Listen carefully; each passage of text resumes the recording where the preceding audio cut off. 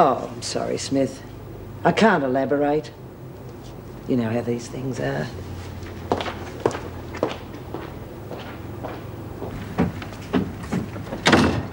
Morning. Oh, good afternoon. Oh, come on. It's not that late. Yeah, it's not that bloody early either. Yeah, sorry. I had a bit of trouble when I left here yesterday. Oh, what happened? well, let's just say Melissa arrived round at my place and Maxie put a foot in it. well, don't say I didn't warn you.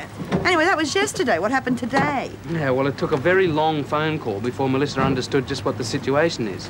Why, didn't she believe you? Yeah, of course, but you know what Maxie's like. Yeah. I'll tell you what, I'll work through my lunch break tomorrow to make up for it, okay? Tomorrow? Oh, Tony, I really need help today. Yeah, well, Mel's coming over to look at the house. You don't mind, do you? She's interested in my work, that's all. Yeah, I don't mind. Just, just tell her not to gawk at everybody, okay? Oh, she won't do that. I know. well, come on, I need some help here. Colleen, I'm really worried for Bea. She's so upset about Lizzie. In fact, I've never seen her so depressed. Well, she's not the only one.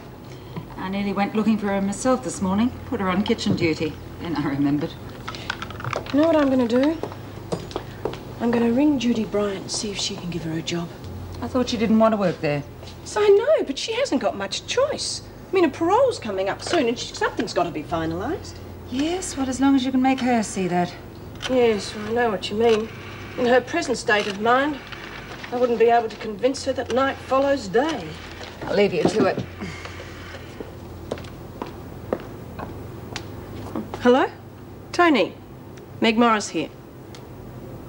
No, I'm fine, thanks. Look, I'll come straight to the point. Hmm. Yeah. Well, it... Yeah, it sounds good to me. And I know Judy's mentioned it more than once. But when's it all to happen? Well, yesterday, if you know what I mean. Well, with a parole application so close, something's got to be done. Well, it's an interesting prospect. I, I don't reckon there'd be too much trouble. Oh, uh, look, Mrs. Morris, um, somebody's just come in. Um, I'll pass you over to Judy. Good luck with the Bea Smith thing. Hello, Mrs. Morris. No, he didn't tell me what's uh, happening. What's the problem? Well, it's Bea. Parole's coming up soon. She still hasn't got a job. Well, why doesn't she come and work here? You knew what I was ringing about, didn't you? Yeah, of course I did. Got to keep one step ahead of the screws, eh? um, look, you tell her that she better take the job or else I'll, um, well, you, you know what I'll do. Okay, Judy. Thanks for your support. I'll keep you posted. Bye. Hey, Bea, where you been? Any news about Lizzie? To the toot, and no. No news worth listening to. What did you get onto the hospital? No, Mrs. M did. Doctors aren't too pleased. There's been no change in Lizzie's condition, so work it out for yourself. Poor old bitch. There's only one bitch in this place, and that's Ferguson. And she's got so much to answer for, and by God, one of these days. Damn right. Oh, she another tough old bastard. That's what really scares me. Well, we gotta do something.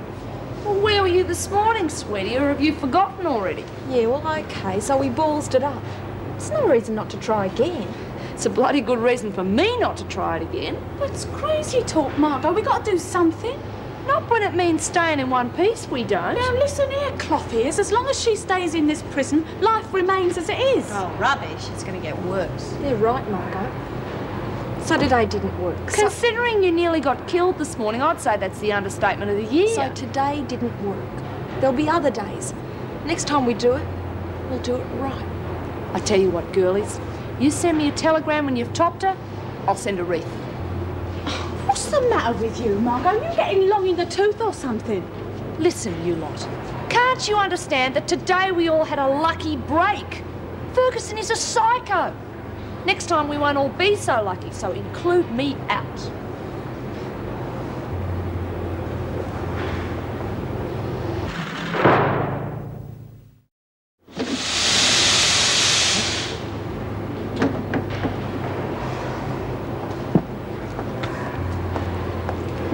Hey, can I have a word with you?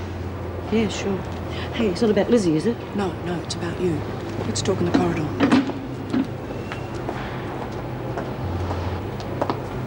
What is it? I rang Judy at Driscoll House, and the job is yours. Now, I know you weren't interested earlier, but you do realise that the circumstances are a little different now. Well, what do you say? Sure, why not? At least I have a prospective employer that Ferguson can't scare off. Yes. Well, I'll let Judy know. Uh, Mrs. Morris, Yes. this won't stop her, you know. She'll try anything. Did you hear about coffee last night? Yes, well, uh, Miss Ferguson is correct, Bea. There is a Oh, rule yes, I know there is. I'm sure there's also a rule about body searches, too. Body searches? Didn't you hear about that? No, I'm not surprised. Uh, that was the second visit for the night. And Mrs. Morris, I reckon I've seen it all. But Ferguson's particular brand of body search is one of the sickest things I have ever seen. Do you want me to go on?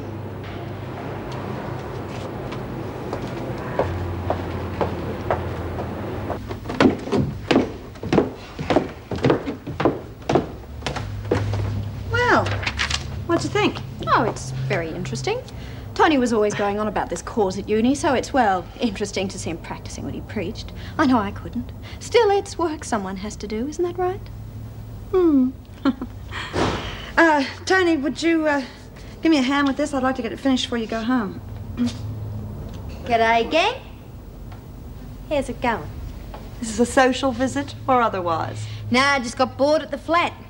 Anyway, I wanted to tell Mr. Berman here that I have been off me bum today and the kitchen's now full of goodies. All legit.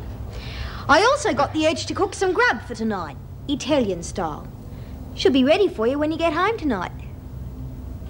Great. Look, that could be a little bit difficult. How would you like to go to the pictures tonight, Maxie? Instead of the meal? Yeah, great. Anyway, wog food isn't exactly my specialty. What are we going to see? No, you don't understand. I'd already arranged to have dinner with Melissa tonight at the flat. So I thought you might appreciate a night out with the stars. Yeah. I know. Alone. My shout. After all, you must have spent most of your dole money on the food. Well, deal? Deal. See you back at the flat. Yeah. Colleen, do you know anything about this body search that Joan organised last night? Only what she put in her report, why? I've just been talking to Bea. Oh, listen, that could explain it. Explain what? Smith's remark about having a visitor during the night. Something has got to be done about this. No one should be subjected to such humiliation. What are we going to do about it? Nothing. Joan always acts within the regulations. The frustrating thing is she can always find some bloody clause to justify her actions. Well, I just hope Bea can bend her head to the storm and ride it out. Look, if Smith gets her parole, it's going to be through merit, not despite Ferguson. I'm just sick to death of the whole thing. Look, just do me a favour and keep an eye on her, will you? Well, that you can be sure of.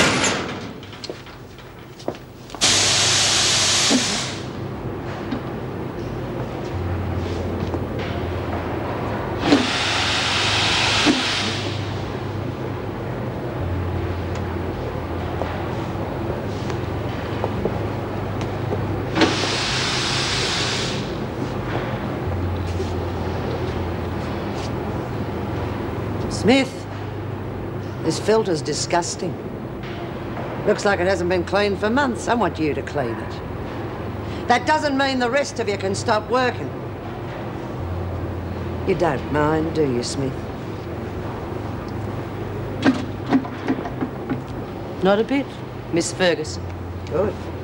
I've got a few more jobs like that for you to do. When you finish that one, of course.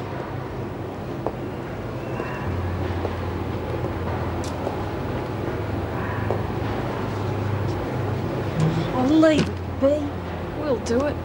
No way. Can't you see that's what she wants? You do it, I get nailed for insubordination. Thanks, but no thanks. I'll do the job myself. Washed in one, and then anything else that can go straight onto the um, straight onto the racks to sell. And then stuff that you don't think we can sell, we might just give to the brotherhood or something like that. And they might be able to do something.